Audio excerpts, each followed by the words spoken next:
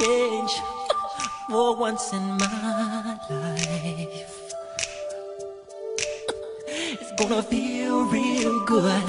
Gonna make a difference. Gonna make it right.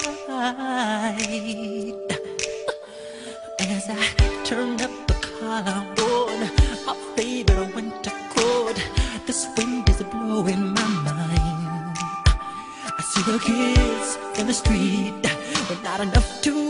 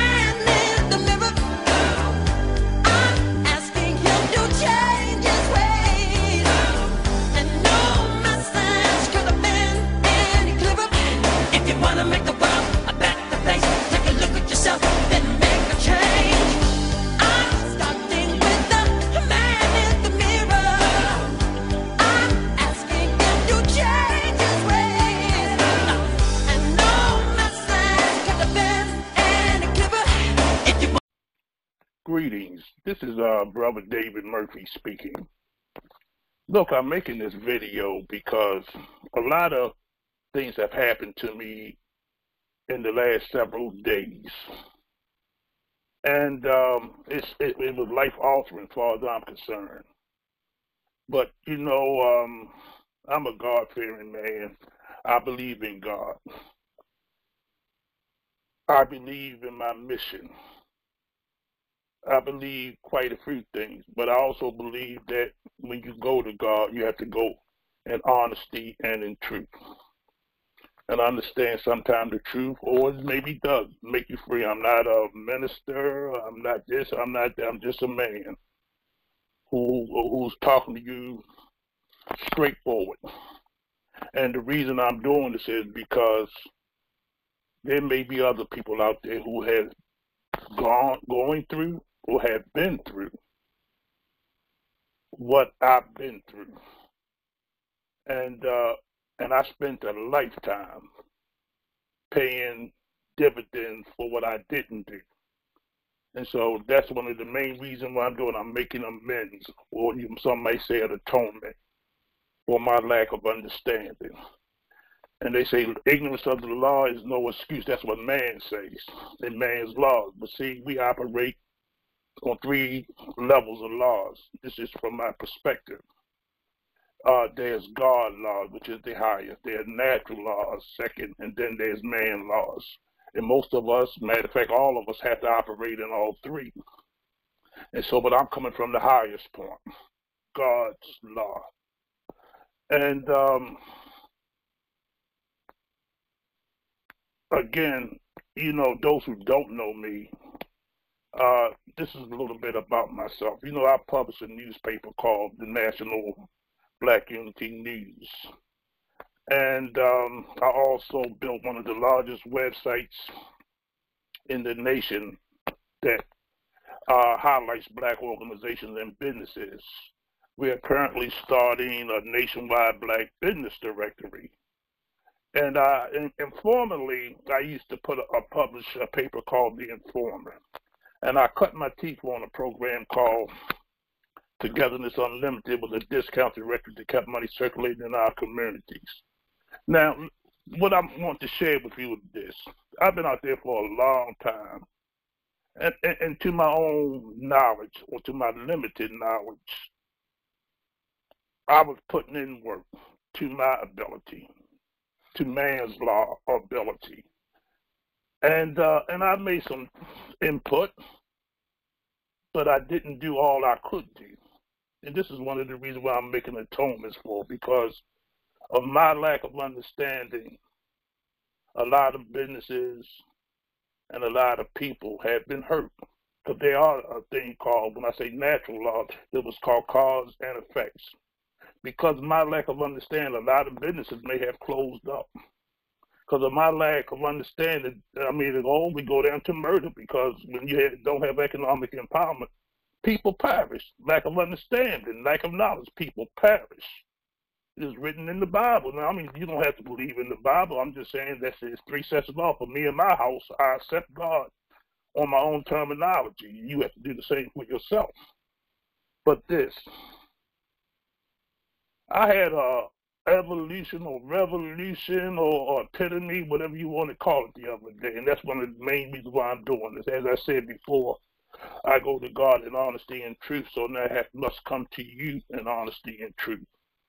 Because I know in my heart of hearts I hurt you, you all.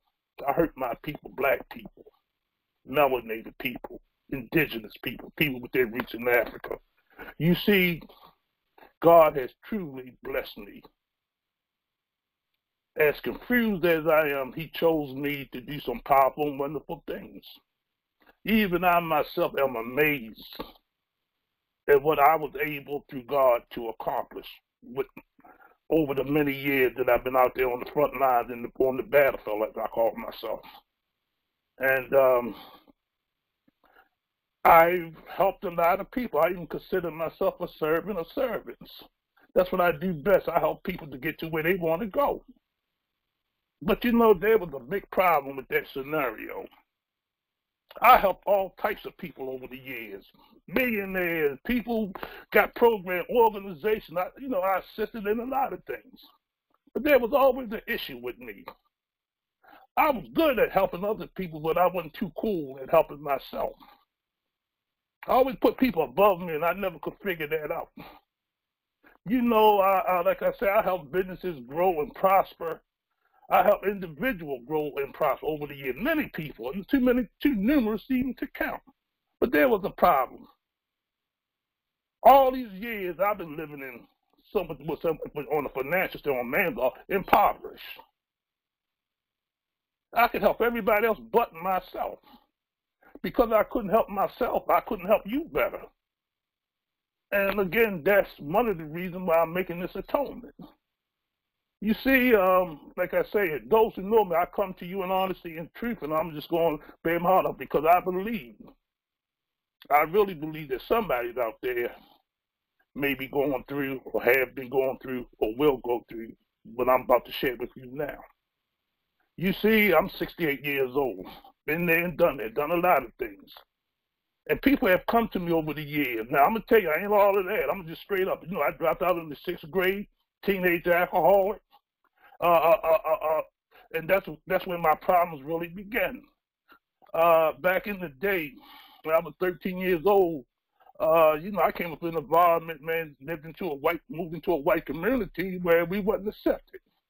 And so black people from all over the city came together. I live in Baltimore. We came to Edmondson Village, was a predominantly white community. And so people came from the Cherry Hills, east side, west side, north side, and they moved to this Edmondson Village because blacks was penetrating. And this was in the early 60s, 60, 61 when I moved up here. And there had been one or two families up here in the 59, 58, but that's when we first started penetrating up here. And then later on, you know, we overtook the community. But because of the uh, uh, uh, uh, the condition that we moved in when we first moved here, you know, we had to kind of hang out with one another. People younger, 12, 13 years old, hang out for 18 and 19 years old because we had to, it was strength and safety in numbers. You know, we had to fight, literally fight when we came out the houses. We had to pull together. I don't care what age we were. If you was black, we pulled together. I don't care what part of town you came from, we pulled together. But I picked up some bad habits. Uh, I end up drinking with some of the older guys, and um, and I liked the way it made me feel because not only did I move into a white community, then I had to go to a, a predominantly white school, and I felt inferior. It's just me. That's just my own thing, and um, and I felt less than because I didn't have what they had. That was pretty much the only reason. But when I uh, started partaking of that alcohol, it made me kind of forget my inhibitions and uh, kind of brought me out in another way, but uh, I couldn't let it go. And that lasted all the way up to the age of 27. You see, ladies and gentlemen, when I as I grew older, this is the confession I want to make to you, and, and, and it bothers me, so please bear with me. You see, um,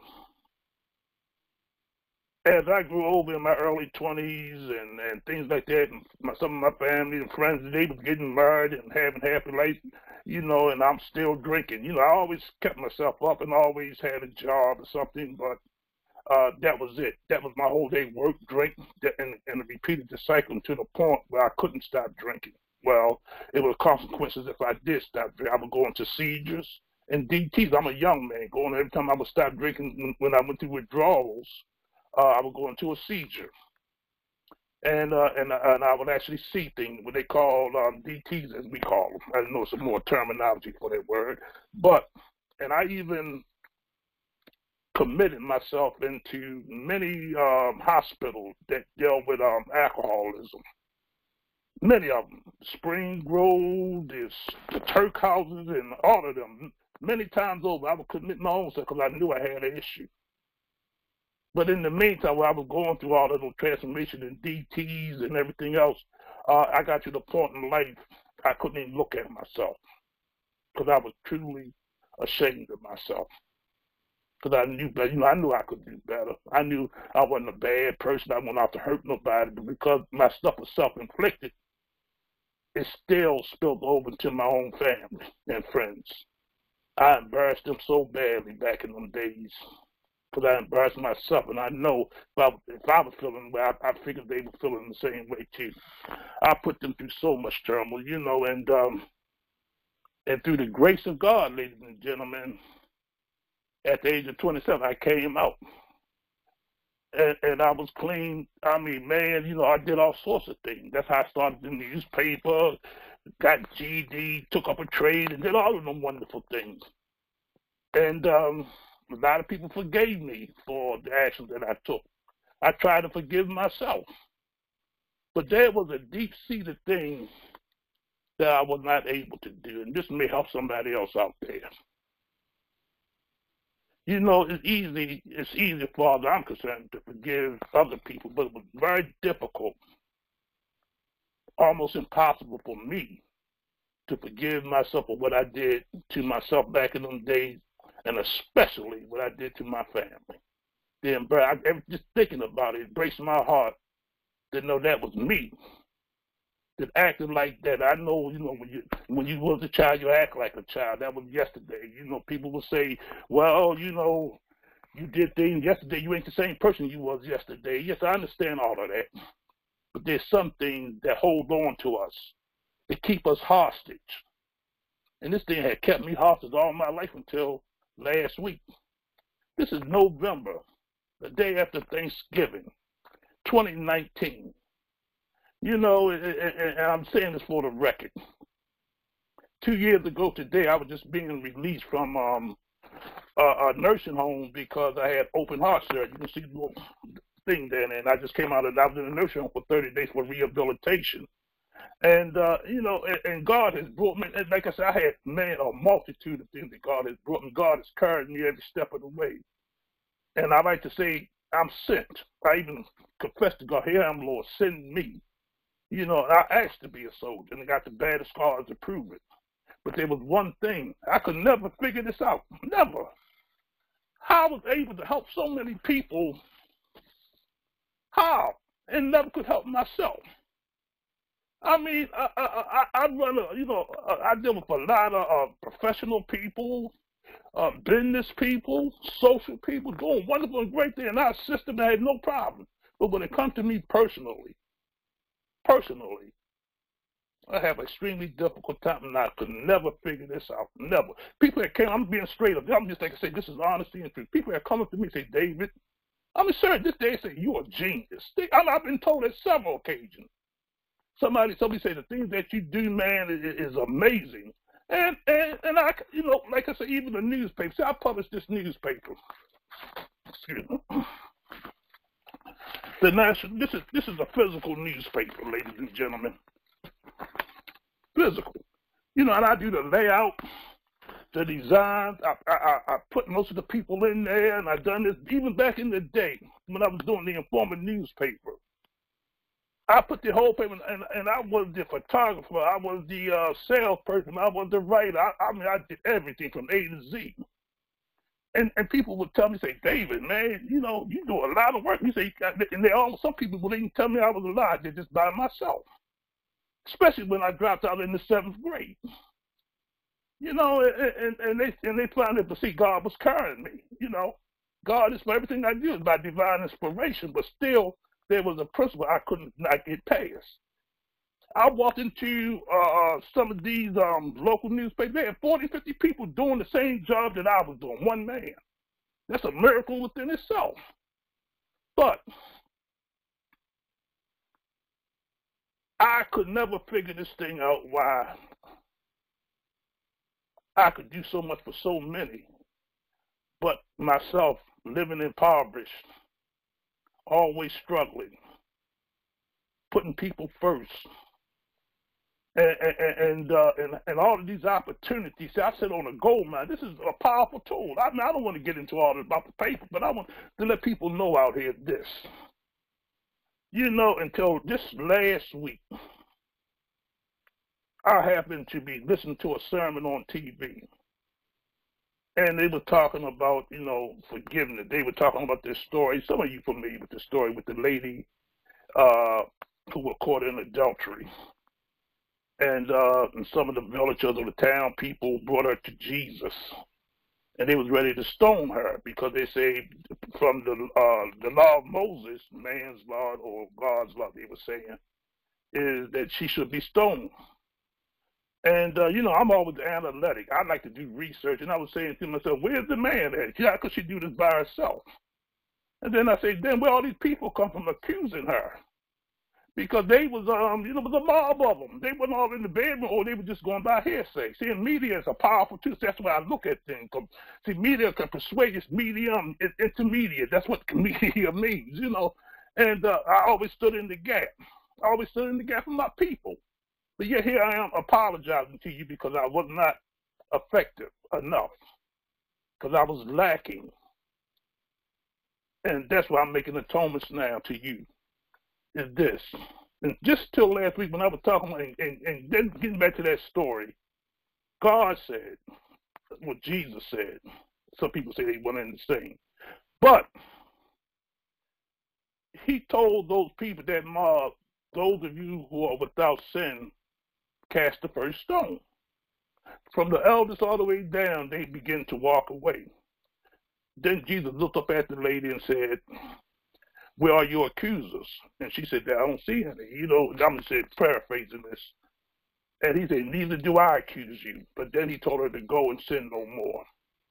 And so, you know, by just listening, that then I had what they call, somebody call it epiphany. You know, I, like I said, everything I've done in the past, I know when God moves me. I don't know about you, but I know when He moves me. But then, just a couple of days ago, I had an experience that released me.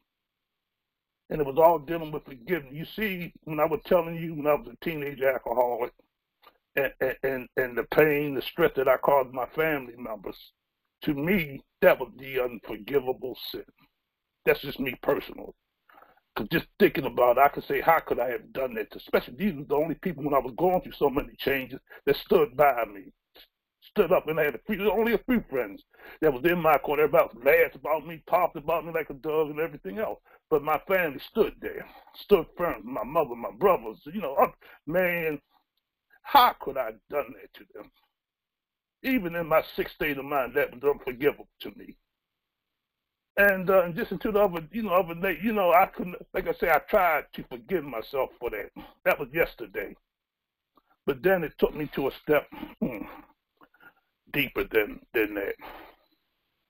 And again, remember I said I was wondering why I could help so many people and couldn't help myself. You know, I got grandchildren, man. My house was falling on my head, and, and I'm sitting on riches. I mean, my, the God, the thing that God, I mean, I mean, financially, I could be making. I, it's a wonder I ain't a multi down there billionaire now. I'm serious, and I couldn't. Why can't I help me? Because of that sin, that I, that one sin or that thing that I couldn't forgive myself for, it was a little deeper than that. Not only was I ashamed, but the epiphany came when I found, you know, when it, it dawned on me, because I never thought I was worthy of anything.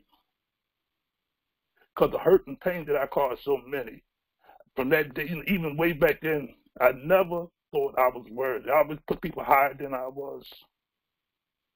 I always think people were better than I am. Here I am. I just I was just grateful enough to thank God that He brought me out of that situation and carried me. But for that that that was the epitome for me. I didn't know that I was capable, you know, that I was supposed to or, or could. But at the same time, there's principles. I said they're natural and they're God's principles. Because I never thought highly of myself. I never thought I deserved nothing. That's why I had nothing. That's why I had nothing. Then that was yesterday. That was a few days ago.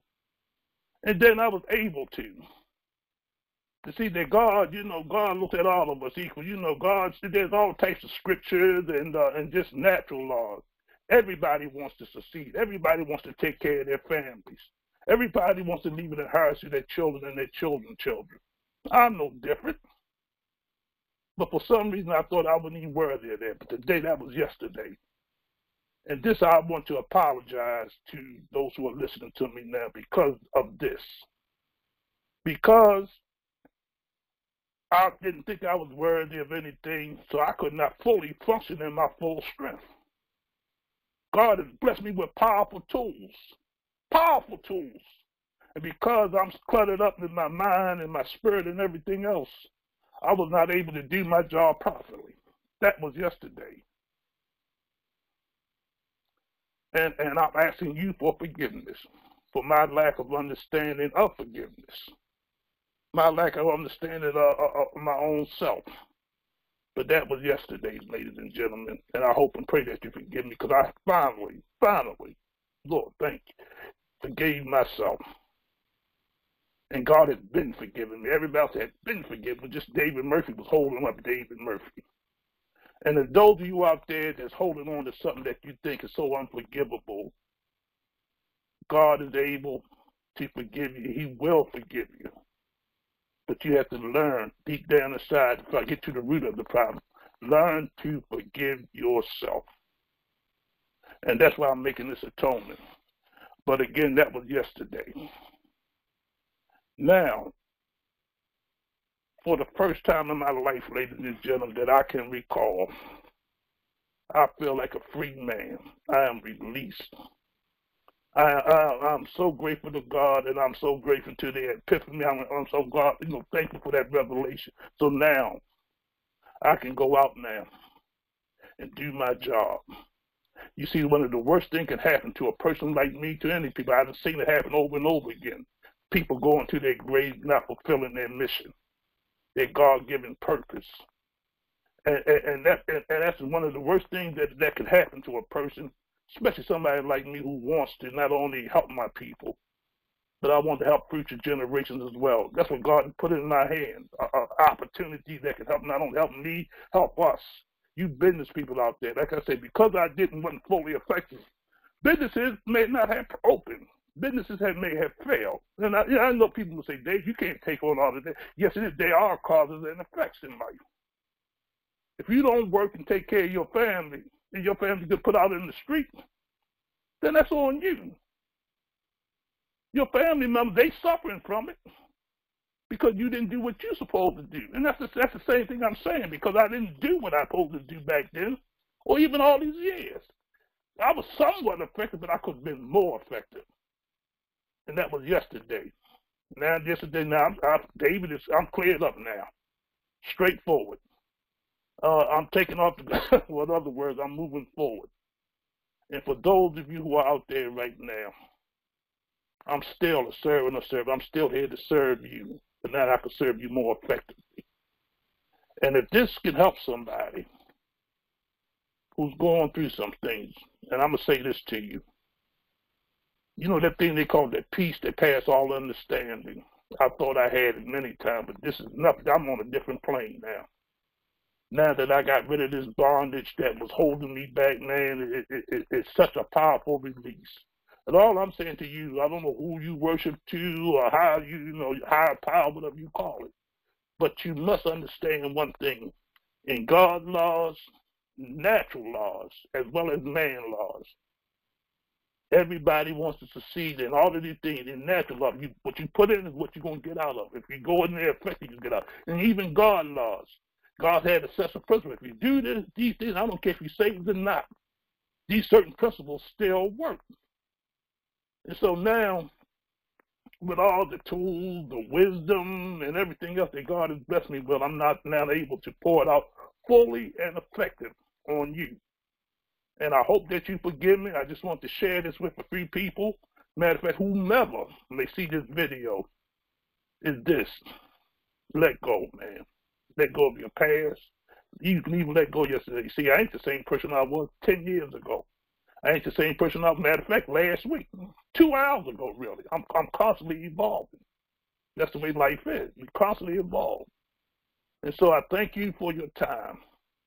And if I can be of any service to you, I've been a servant for a long time, but now I can do it more effectively. And I just want to thank you, and I hope that this may help somebody. Thank you. Take care.